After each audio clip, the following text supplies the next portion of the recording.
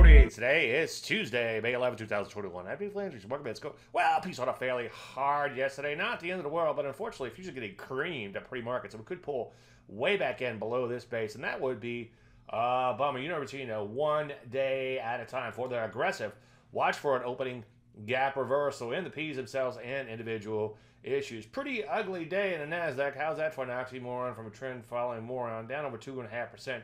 One thing I have been concerned about is potential double top in here, followed by uh, a bow tie. We'll see how that shakes out with today's Ah, action. Resty getting creamed a little bit, sideways at best as of late. Energy's tailed higher, came right back in.